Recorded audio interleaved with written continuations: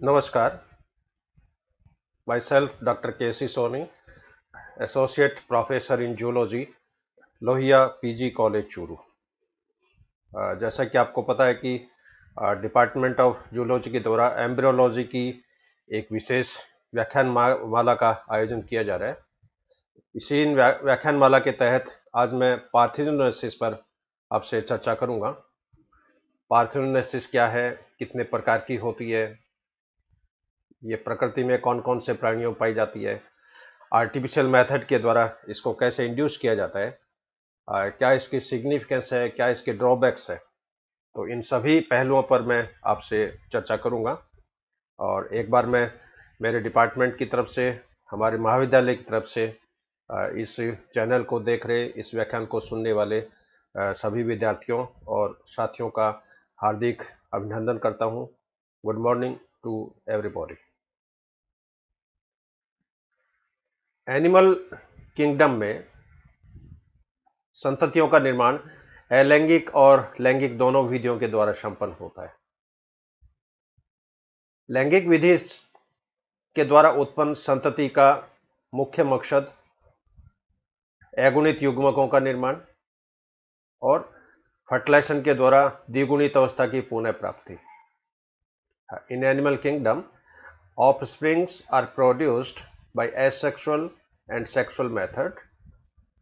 The main purpose of sexual method is reproduction of haploid gametes and restoration of diploid stage by fertilization.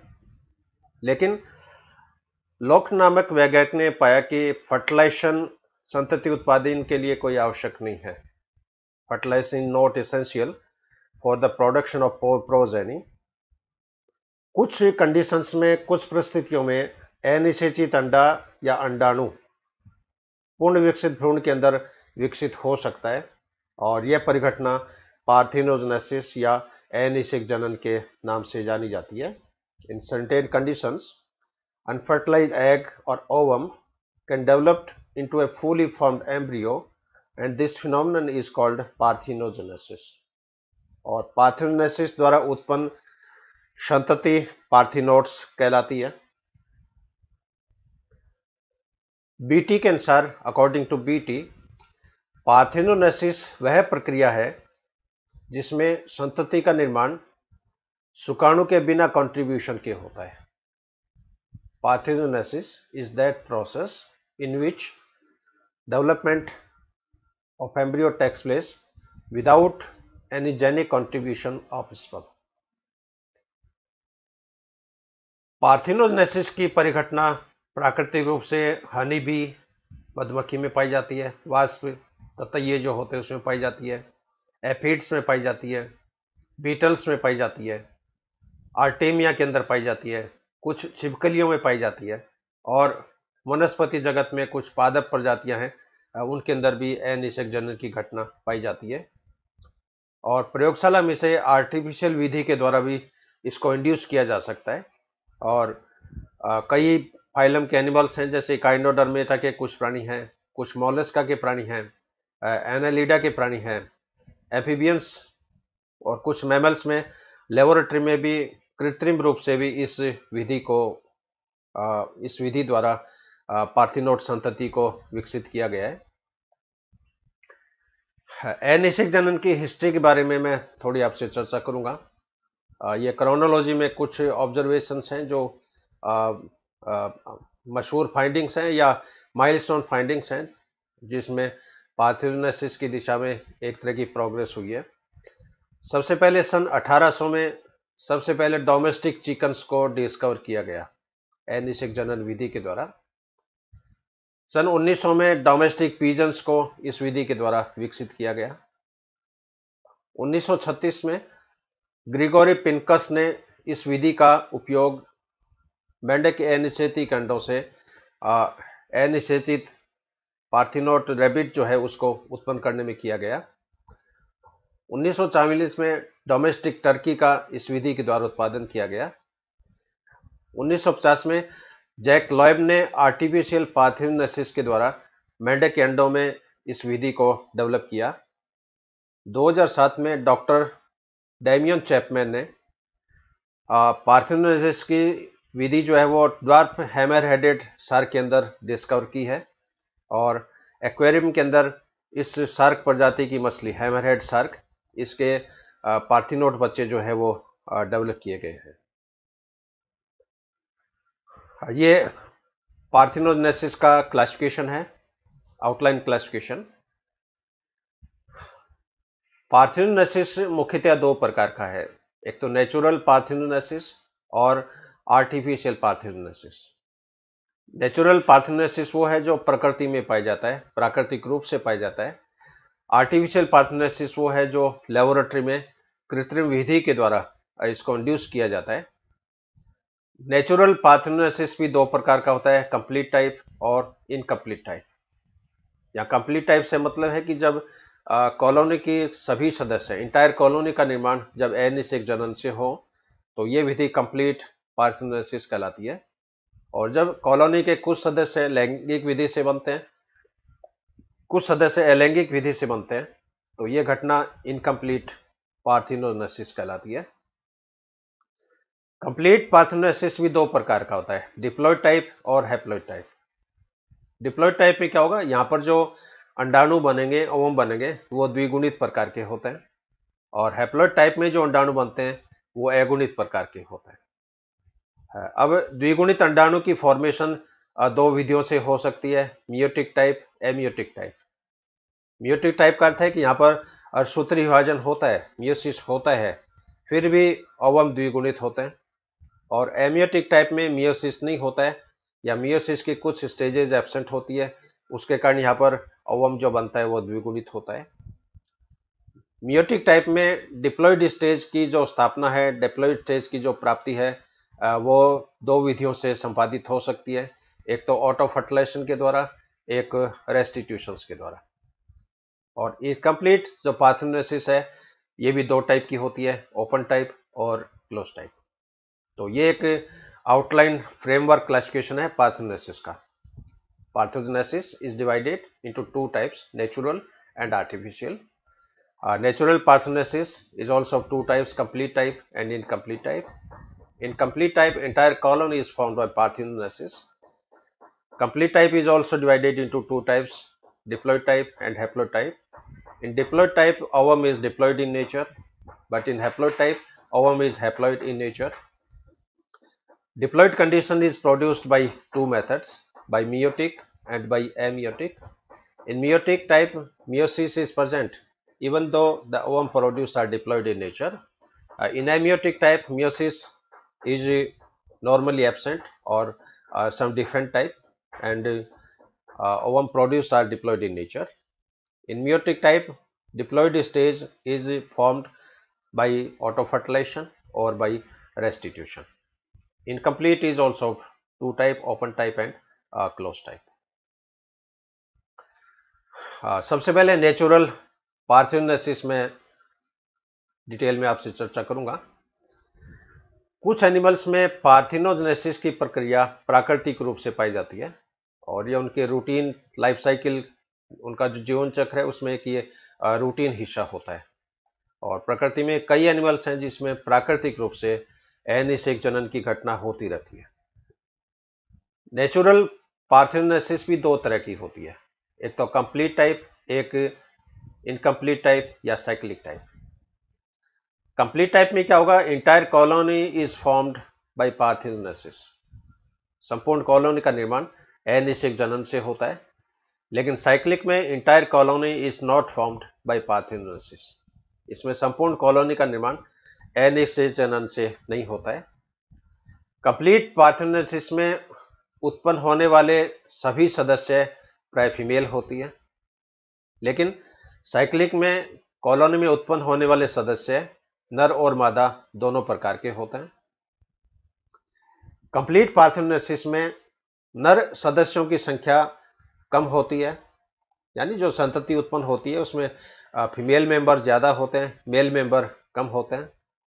जबकि cyclic के अंदर ये ratio जो है, इसमें नर सदस्य थोड़े ज़्यादा होते हैं मादा सदस्य थोड़े कम होते हैं। कंप्लीट टाइप की जो परिघटना है यह मुख्यतः पाई जाती है प्लेटी हेलमिंथिस के अंदर रोटीफर्स में और वाष्प में। और साइक्लिक अनिषेक जनन की घटना पाई जाती है गोल्फ्लाई में एफिड्स में और रोटीफर्स में। तो नेचुरल पार्थिनोनेसिस दो प्रकार का हो गया कंप्लीट टाइप और इनकम्प्लीट टाइप या cyclic type complete natural parthenogenesis ये भी पुनः दो प्रकार का होता है। डिप्लॉयड कंप्लीट नेचुरल पार्थिनोनेसिस और haploid complete natural parthenogenesis diploid type की जो पार्थिनोनेसिस है, इसको थैलीटोकी के नाम से भी जाना जाता है। इसके अंदर फीमेल जो है वो डेवलप होती है। इसमें जो ओवम बनता है वो द्विगुणित प्रकार का होता है और द्विगुणित ओवम से आ, मादा सदस्यों का निर्माण होता है। द्विगुणित अवस्था जो है ओवम की वो दो विधियों के द्वारा संपादित हो सकती है। एक तो मियोटिक टाइप एक एमियोटिक टाइप। तो मियोटिक टाइप में मियोसिस होगा फिर भी ओवम द्विगुणित होता है। एमियोटिक टाइप में मियोसिस थोड़ा डाइवर्ट टाइप का होता है। उसके कारण उत्पन्न ओवम दो प्रकार का होता है डिप्लोइड प्रकार का होता है। और द्विगुणित एनिसेक जनन मुख्यतः प्लेटियल मिंथीस में, रोटीफर्स में और वाष्प में पाया जाता है।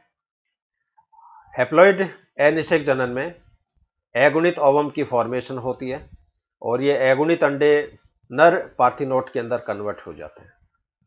ये परिघटना मुख्यतया एरेक्निट्स में, रोटीफर्स में, हाइमिनोप्टेरा में, कॉक्सीडिया में, कोलियोप्टेरा में और थाइसेनोप्टेरा के सदस्यों में पाई जाती है।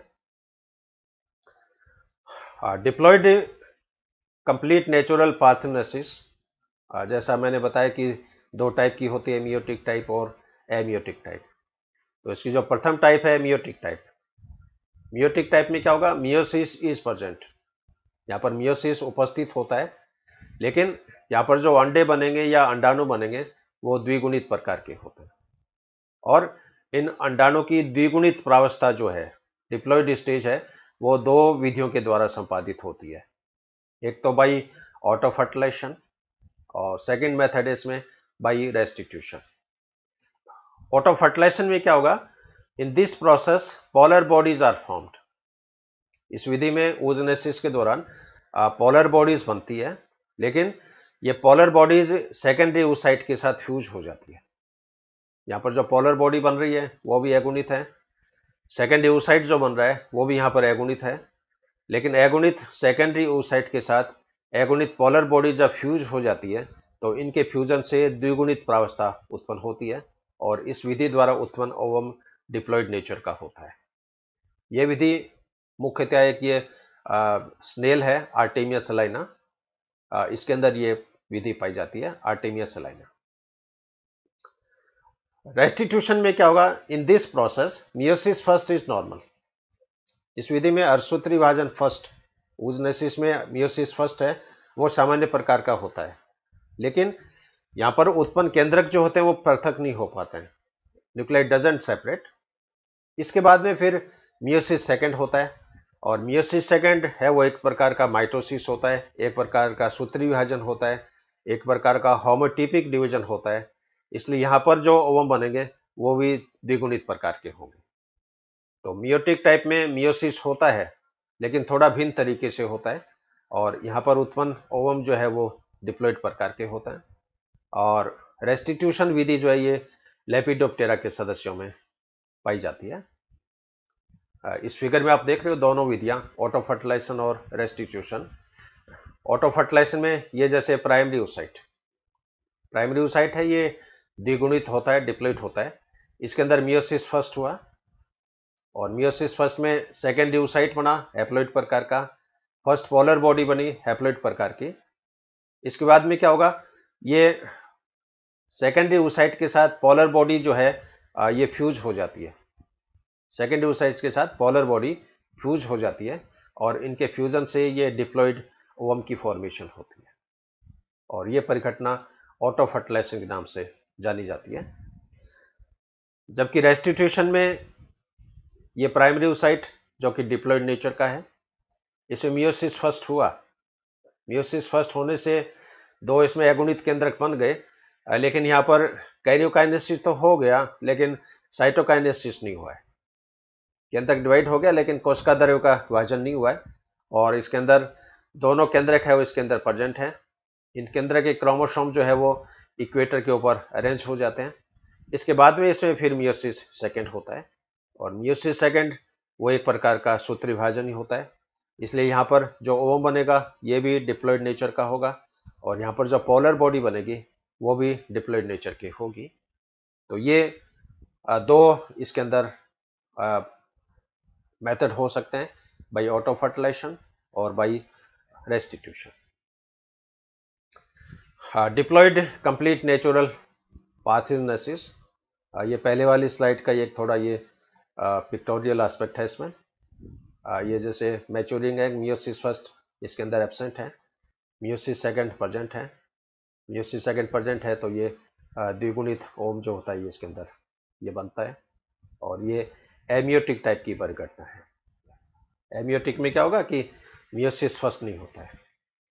और मियोसिस फ़र्स्ट है, उसी में गुणसूत्रों की संख्या आदि होती है।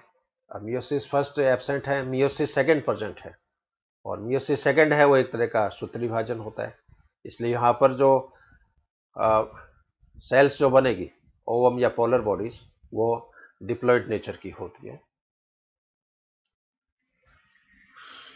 सेकेंड टाइप है इसमें हेप्लॉइड कंप्लीट नेचुरल पार्थिनोनेसिस इस विधि में पार्थोजेनेसिस के अंदर जो ओजनेसिस की प्रक्रिया है, वो नॉर्मल है। और ओजनेसिस जब नॉर्मल होता है तो इसके अंदर एगुणित अवम की फॉर्मेशन होती है। और ये एगुणित अंडे जो होते हैं, ये नर सदस्यों में कन्वर्ट हो जाते हैं। यहाँ पर एगुणित अंडों से जो संतति बनेगी, वो नर प्रकार की होगी। मेल सदस्य यहाँ पर उत्पन्न होते हैं। और ये विधि एरेक्नेट्स में, रोटिफर्स में हाइमनोप्टेरा में, कोलियोप्टेरा में, थाइसेनोप्टेरा में और कॉक्सोइडिया के सदस्यों में पाई जाती है। इस फ्लो चार्ट में आप जैसे देख रहे हो इसके अंदर मियोसिस का संपादन जैसे हो रहा है। प्राइमरी ऊसाइट इसके बाद में ये हेप्लेट ओवम बना और ये हैप्लॉइड ओम हैप्लॉइड सदस्य के अंदर ये कन्वर्ट हो जाता है। और यहाँ पर हैप्लॉइड सदस्य जो बनते हैं वो प्राय नर होते हैं मादाएँ नहीं होती है। इसी का एक फिगर जैसे एक और है। ये जैसे कोई फीमेल है, स्टेम सेल है, जो कि डिप्लॉइड प्रकार की है। इसके अंदर अर्धसूत्री विभाजन हुआ, मियोसिस हुआ। मियोसिस हुआ तो इसके अंदर एगुणित ओम बना, इधर ही एगुणित ओम बना। अब जिस एगुणित अंडाणु का निषेचन नहीं होता है तो वो अनिषेचित अंडा अगुणित नर के अंदर कन्वर्ट हो जाता है। और जिस अंडे का फर्टिलाइजेशन होता है, वो डिप्लॉइड जाइगोट में कन्वर्ट हो जाता है और ये डिप्लॉइड जाइगोट फीमेल के अंदर कन्वर्ट हो जाती है। तो मधुमक्खियों में जैसे देखा होगा कि हनी बी में तीन तरह की कास्ट पाई जाती है। इसके अंदर राजा होता है किंग या ड्रोन जो कि एगुणित होता है और नर सदस्य होता है फर्टाइल होता है। और इसमें जो रानी है, वो द्विगुणित है फर्टाइल है। और इनके जो श्रमिक हैं, सैनिक जो हैं वर्कर्स वो डिप्लॉयड होते हैं लेकिन इनफर्टाइल होते हैं। और वर्कर की इनफर्टिलिटी का मुख्य कारण ये होता है कि रानी मक्खी के द्वारा एक फिरोमोन स्रावित होता है नाइन ऑक्सी डेसिनोइक एसिड इस फिरोमोन के कारण वर्कर्स में ओजनेसिस की क्रिया रुक जाती है। ओजनेसिस इनहिबिट हो जाता है। यदि किसी कारणवश रानी मक्खी की मृत्यु हो जाए उस केस में कुछ वर्कर सदस्य जो सुपीरियर क्वालिटी के हैं, ये वर्कर फीमेल इनके अंदर ओजनेसिस की प्रक्रिया स्टार्ट हो जाएगी और वो रानी की तरह प्रजनन जो होती है वो करने लग जाती है। ये कुछ कंपेरेटिव फ्लो चार्ट जैसे इस स्लाइड में मैंने दिखाए हैं। लैंगिक प्रजनन में क्या होगा? सेक्स और रिप्रोडक्शन में मियोसिस होता है और मियोसिस होता है तो इसमें हैप्लॉइड ओवम बनता है हैप्लॉइड स्पम बनता है। दोनों हैप्लॉइड गैमेट के प्रोन्यूक्लियर का फ्यूजन हो जाता है डिप्लॉइड जाइगोट बनता है। इस डिप्लॉइड जाइगोट के अंदर फिर क्लीवेज होता है गैसलेशन होता है न्यूडलेशन होता है और द्विगुणित संतति का यहाँ पर निर्माण हो जाता है। ये लैंगिक प्रजनन का फ्लो चार्ट है। हैप्लॉइड पार्थिनोसिस के अंदर मियोसिस हुआ और मियोसिस के द्वारा एगुणित अंडे बनते हैं और ये एगुणित अंडे नर सदस्यों के अंदर एगुणित नर के अंदर ये परिवर्तित हो जाते हैं। डिप्लॉयड पार्थिनोसिस ये जैसे दो एग्जांपल यहाँ कोट किए मैंने। एक तो ऑटोमिक्सिस टाइप का, एक एपोमिक्सिस टाइप का। तो ऑटोमिक्सिस टाइप में मियोसिस हुआ और एगुणित सदस्य यहाँ पर बने एगुणित अंडा बना। इस ओम के अंदर क्रोमोसोम का रेप्लिकेशन होता है और डिप्लॉयड स्टेज बन जाती है। या इधर इनका दूसरे सेल्स के साथ ही फ्यूजन हो जाती है ऑटो फर्टिलाइजेशन टाइप का, और उस केस में यहाँ पर ये डिप्लॉयड जाइगोट बनता है, और ये डिप्लॉयड जाइगोट फिर द्विगुणित सदस्य के अंदर ये कन्वर्ट हो जाता है। एपोमिक्सिस में क्या होगा कि माइटोसिस होता है मियोसिस प्रॉपर प्रकार का नहीं होता है, या यूँ कहीं मियोसिस फ़र्स्ट इसमें एबसेंट है डायरेक्ट मियोसिस सेकंड हो रहा है, और डायरेक्ट मियोसिस सेकंड हो रहा है तो इसमें जो बनेगा वो डिप्लॉइड प्रकार का होगा, और डिप्लॉइड प्रकार का होता है तो यहाँ पर जो संतति बनेगी वो भी इसमें डिप्लॉइड प्रकार की होती है। तो ये एक कंपेरेटिव फ्लो चार्ट है। लैंगिक प्रजनन में संतति कैसे बनती है? एगुणित अनिषेक जनन में संतति कैसे बनती है?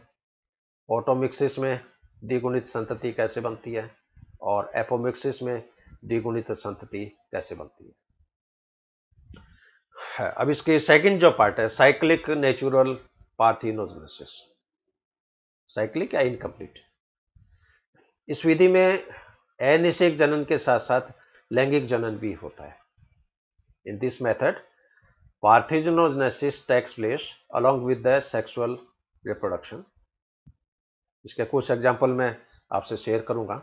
जैसे गोल्ड फ्लाई गोल्ड फ्लाई में क्या होगा कि प्रतिवर्ष every year one generation is parthenogenetic and one generation is sexual तो गाल फ्लाई में प्रतिवर्ष एक पीढ़ी अनिषेक जनन से बनेगी, एक पीढ़ी लैंगिक जनन से बनेगी और ये बारी बारी ये प्रक्रिया जो होती है वो चलती रहती है।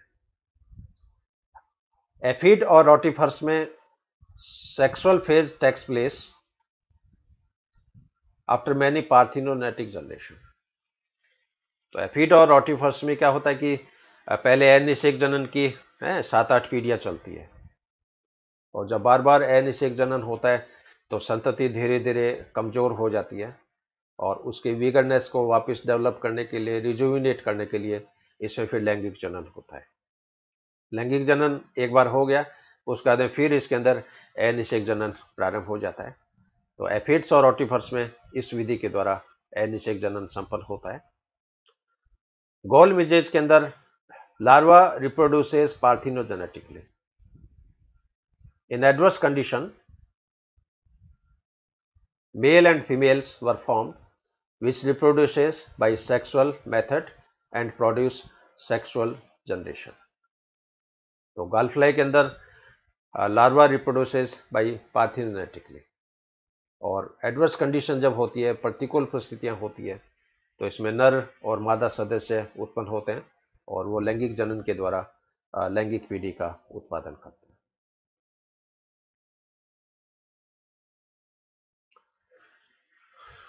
साइक्लिक पार्थिनोनेसिस भी दो तरह की होती है, एक तो ओपन टाइप और एक close type.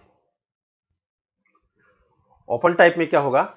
In this method, before sexual form, many parthenogenetic generation passed away. तो इस विधि में लैंगिक पीढ़ी डेवलप हो, लैंगिक सेक्सुअल फॉर्म डेवलप हो, उससे पहले अनिषेक जनन द्वारा उत्पन्न संततियों की कई पीढ़ियाँ बन जाती है। It may be diploid type और it may be haploid diploid type तो ओपन टाइप जो है ये द्विगुणित प्रकार की भी हो सकती है एगुणित द्विगुणित प्रकार की भी हो सकती है। और ये विधि मुख्यतः एफिड्स में पाई जाती है रोटीफर्स में पाई जाती है। क्लोज टाइप में क्या होगा? In this type sexual form directly develop from the zygote इसमें लैंगिक पीढ़ी है, वो डायरेक्ट जाइगोट से डेवलप होती है। इसमें एनिसेक जनन की इतनी संततियाँ नहीं होती है। और इट में भी डिप्लॉयड टाइप और इट में भी हैप्लॉयड डिप्लॉयड टाइप ये भी द्विगुणित प्रकार की हो सकती है, अगुणित, द्विगुणित प्रकार की हो सकती है। और ये विधि मुख्यतया गोल फ्लाइज के अंदर पाई जाती है। इस फिगर में आप देख रहे हो open type close type open type में ये जैसे स्टे मदर है सपोज़ स्टे मदर है, ये द्विगुणित है। इसके अंदर एनिसेक जनन हुआ इसे द्विगुणित संतति बने। इस संतति में फिर एन एक जनन हुआ, द्विगुणित संतति बने।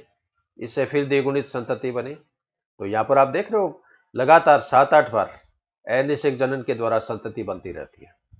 अब बार बार जब अनिषेक जनन होता है तो संतति की विगरनेस जो होती है, वो धीरे धीरे खत्म हो जाती है।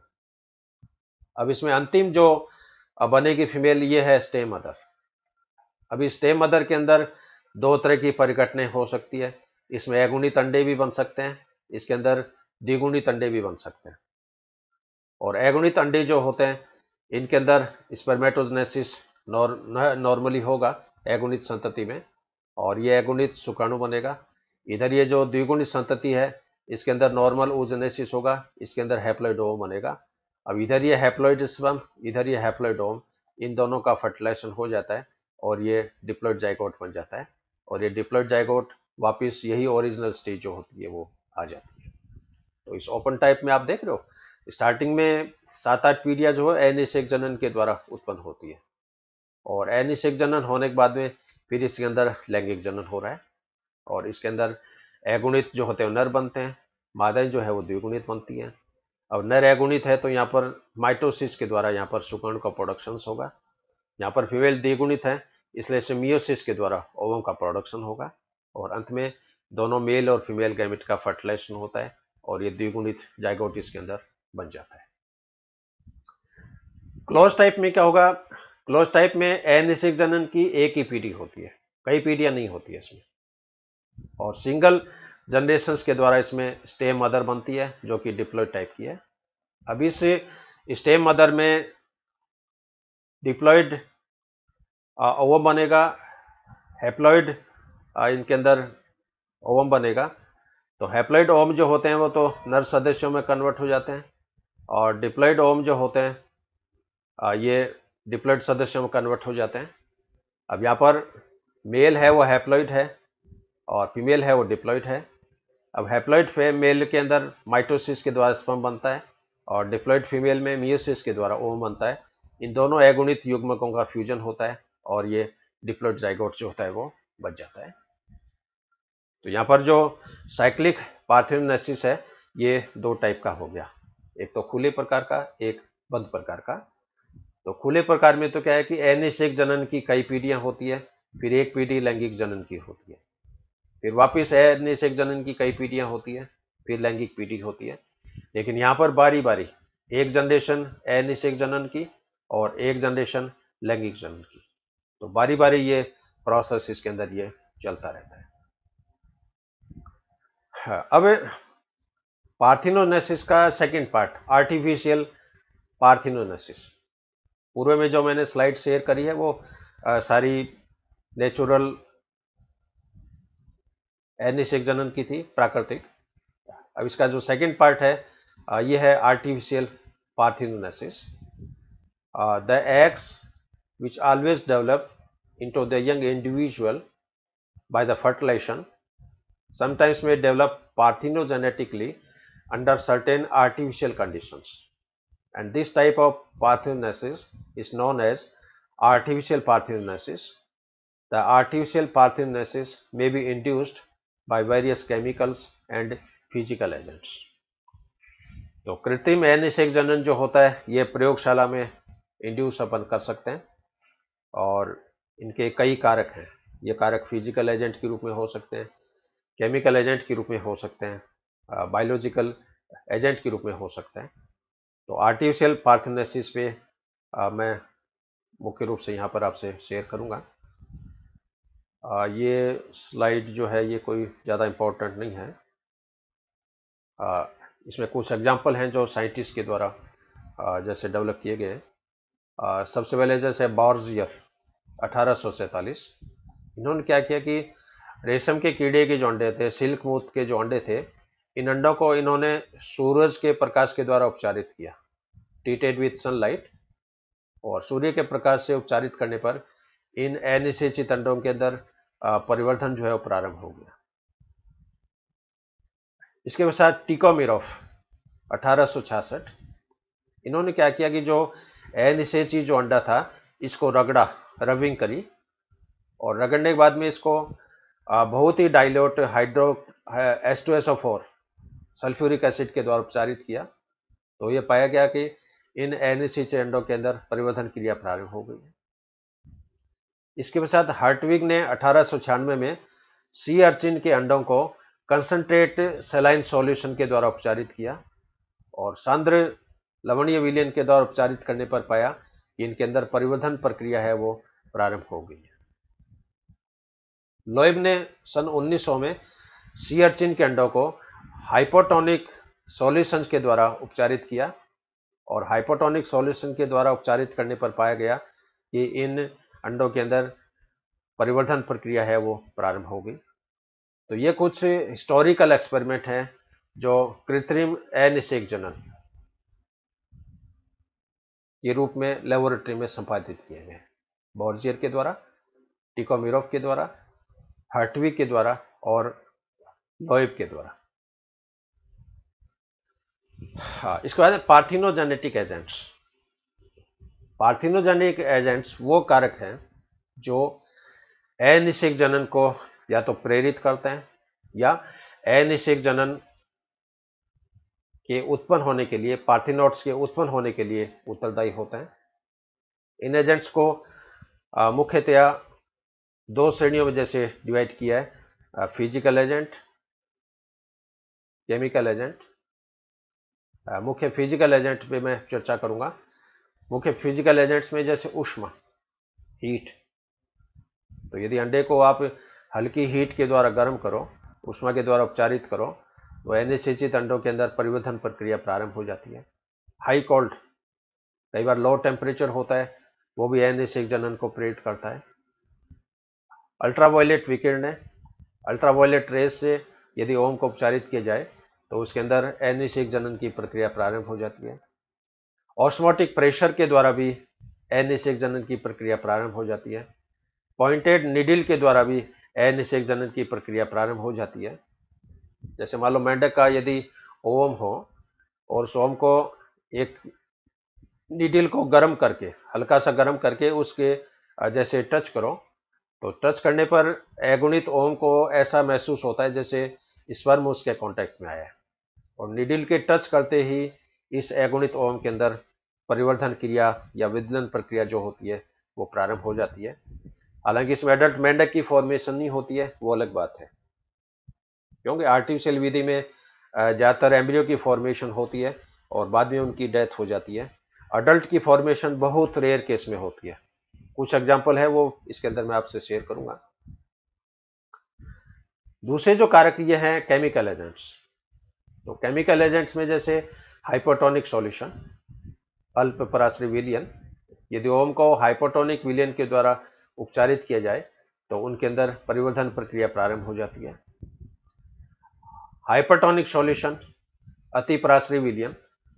ओम को हाइपरटोनिक विलियन के द्वारा ट्रीट किया जाए तो इसके अंदर क्लीवेज प्रक्रिया प्रारंभ हो जाती है।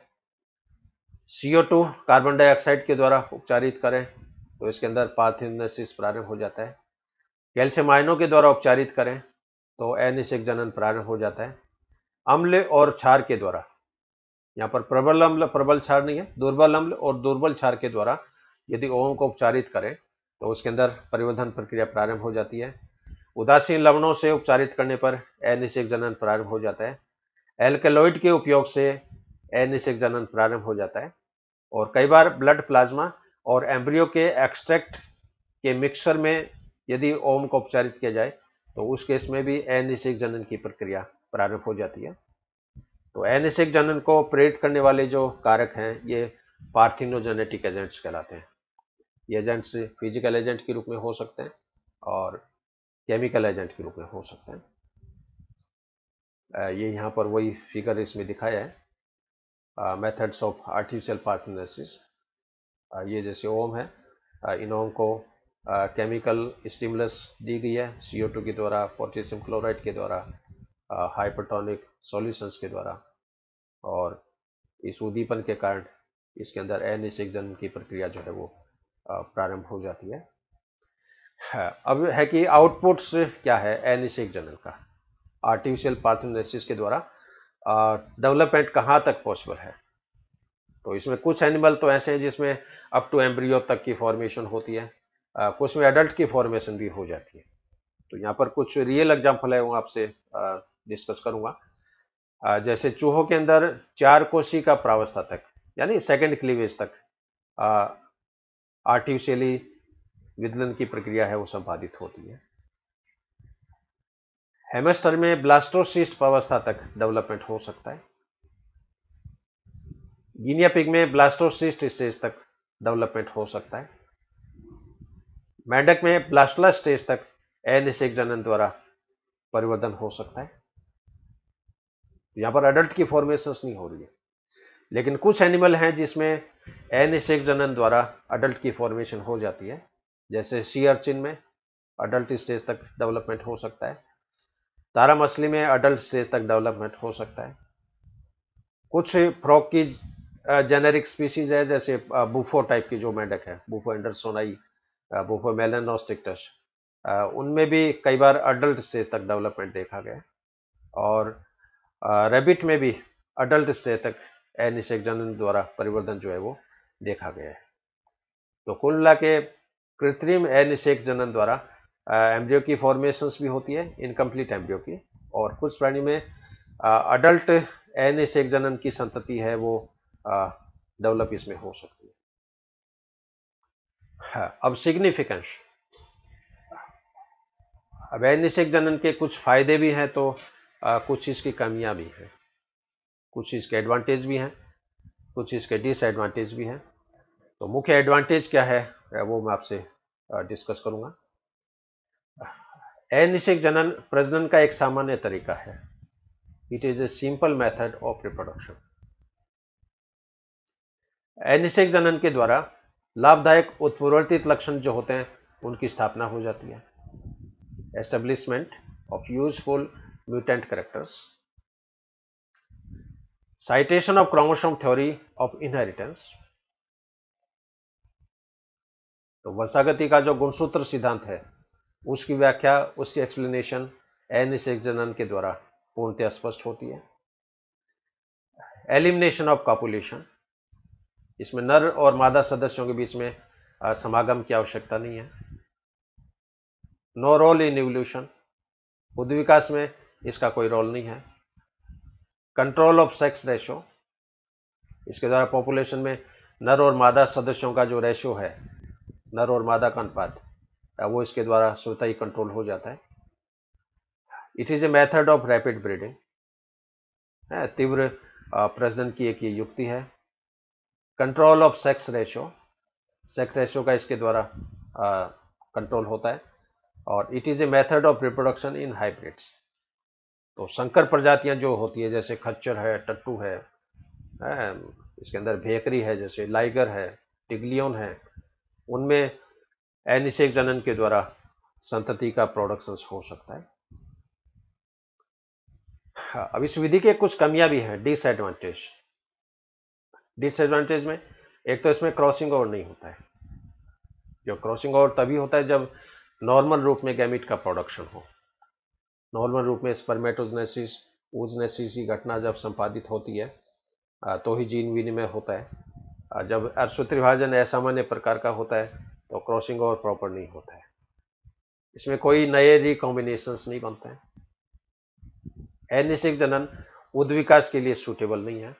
It is not suitable for evolution इसके अलावा जो पार्थिनोट संततियाँ बनती है, उसमें अनुकूलन बहुत कम पाया जाता है।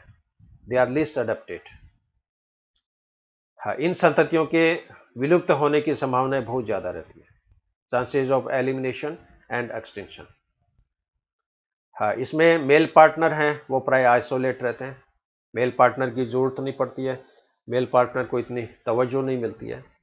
और एक बार, आज के 20-25 साल पहले दिनमान मैगजीन एक आती थी, उसमें एक आर्टिकल आया था मनुष्य के संदर्भ में कि अब बच्चे पैदा करने के लिए मर्दों की ज़रूरत नहीं रहेगी। यह कल्पना उसमें की है जब क्लोनिंग पे एक्सपेरिमेंट चल रहे थे और ये संभावना जताई जा रही थी कि भविष्य में मनुष्य जो है, कॉलोनी के द्वारा अपने जैसी हो हो प्रतिलिपि बना लेगा। तो उस संदर्भ में ये आर्टिकल ये प्रकाशित हुआ था कि अब बच्चे पैदा करने के लिए मर्दों की ज़रूरत नहीं रहेगी और ये आर्टिकल अब इस समय एकदम हंड्रेड परसेंट प्रूफ है। Sexual reproduction is essential after many generation of parthenogenesis अब एनिसेक जनन में क्या होता है कि जब 10-12 पीढ़ी एनिसेक जनन द्वारा बन जाती है तो संतति कमज़ोर हो जाती है विगड़नेस की दृष्टि से, और तब उसमें लैंगिक प्रजनन का होना आवश्यक है। और लैंगिक प्रजनन होते हैं तो उसमें जेनेटिक मेटेरियल का एक्सचेंज हो जाता है, और संतति होती है वो वापस रिज्यूनेट हो जाती है, और रिज्यूनेट होने बाद में इसमें फिर पाँच सात पीढ़ी फिर अनिषेक जनन की हो जाती है। तो ये साइक्लिक जो परिघटना है ये निरंतर चलती रहती है। तो ये कुछ कमियाँ हैं इस अनिषेक जनन की। ये कुछ इसमें रियल एग्ज़ाम्पल हैं जो भी हाल ही में वैज्ञानिकों के द्वारा ऑब्ज़र्व किए गए। जैसे कॉमोडो ड्रैगन जो है कॉमोडो ड्रैगन में पैट्रिक बैरी एक साइंटिस्ट हैं और इन्होंने चिड़ियाघर के अंदर कॉमोडो ड्रैगन्स में एनसिक जनन द्वारा एगोनित संतति को उत्पन्न किया है। और इनका ये आर्टिकल है, ये पब्लिश भी हुआ है मैगजीन्स के अंदर न्यूज़पेपर के अंदर। इसमें आप देख रहे हो एगुनित अंडा है और इस एगुनित अंडे से ये हैचिंग के द्वारा एगुनित संतति है वो बाहर निकल रही है। ये ये रियल पिक्चर है कॉमोडो ड्रैगन का। हाँ इसी तरह सार्क मछली के अंदर भी एनिसिक जनन की संतति। ये जैसे हेमरेड सार्क है स्पीरना तो हेमरेड सार्क में भी एनिसिक जनन द्वारा एगुणित बच्चे हैं वो डेवलप किए गए हैं एक्वेरियम के अंदर। इसी तरह ये जो लिजार्ड्स जो है, मोबिया या स्किंक जैसी ये इसमें आप देख रहे हो, ये ये तो पेरेंट्स हैं मदर है और ये इनके एनिसिक जनन की संतति है। इनके अंदर कलर पैटर्न भी थोड़ा वेरिएबल टाइप का होता है और साइज़ भी इनकी इनकी तुलना में छोटी होती है। ये एफिड का जैसे फिगर है तो एफिड के अंदर भी एनिसेक जन द्वारा संतति होती है और इसमें आप देख रहे हो, ये फीमेल है। और फीमेल के ये एक्सटर्नल जेनाइटेलिया से गोनेफाइसिस के द्वारा ये एगुनिक सदस्य जो है वो बाहर निकल रहे हैं। ये वही सार्क है, सार्क की जैसे एनिसिक जन की संततियों का ग्रुप है। ये मैमल्स हैप्लॉइड मैमल्स अब ये कंपेरेटिव टेबल दिखाइए एनिसिक जनन और हर्मेफ्रोडाइटिज्म में क्या क्या डिफरेंस है? So, parthenogenesis में reproduction from an ovum without fertilization especially as a normal process in some invertebrates and in some lower plants. Hermaphroditism में condition of having both male and female reproductive organs.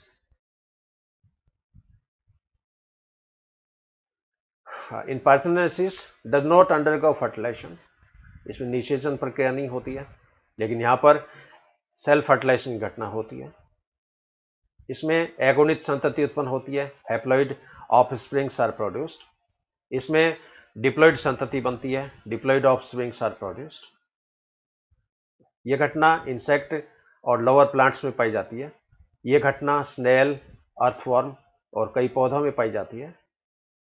इसमें matting partner की आवश्यकता नहीं होती है।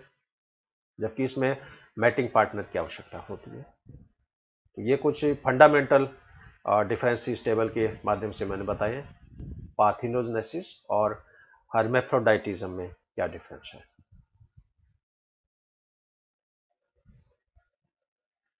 Final significance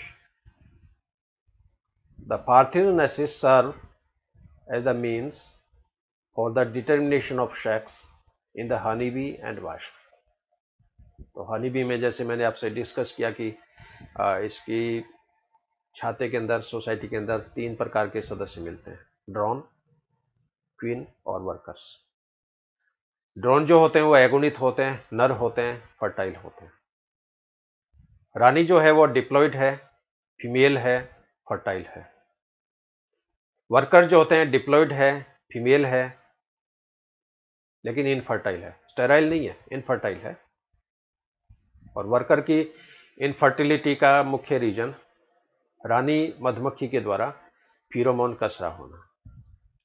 तो जब तक छाते में रानी मक्खी है, रानी मक्खी के द्वारा नाइन ऑक्सी डेसिनोइक एसिड स्रावित होता रहेगा और फिरोमोन की स्मेल के कारण वर्कर्स में वूजनेसिस की जो घटना है वो अवमंदित रहती है।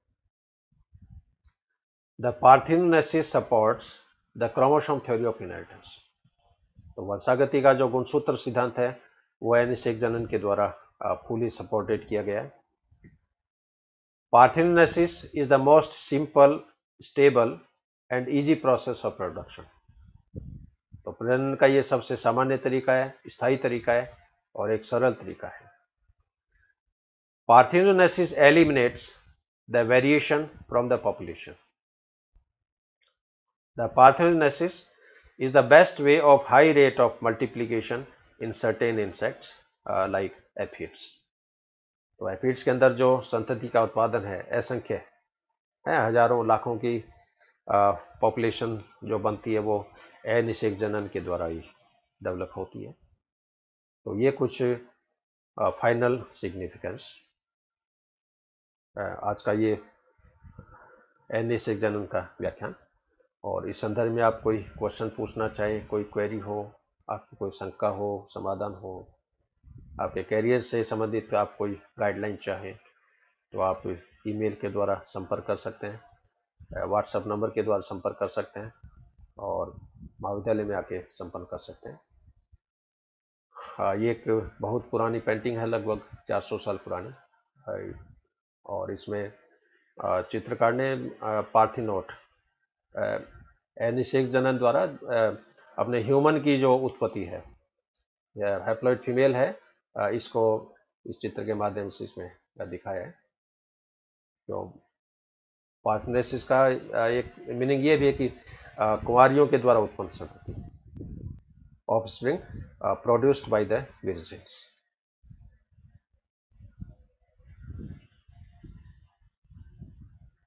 तो आपने व्याख्यान बहुत ध्यान से सुना।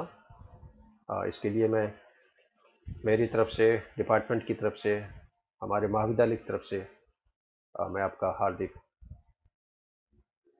अभिनंदन करता हूँ। एक बार पुनः thank you very much have a good day have a great day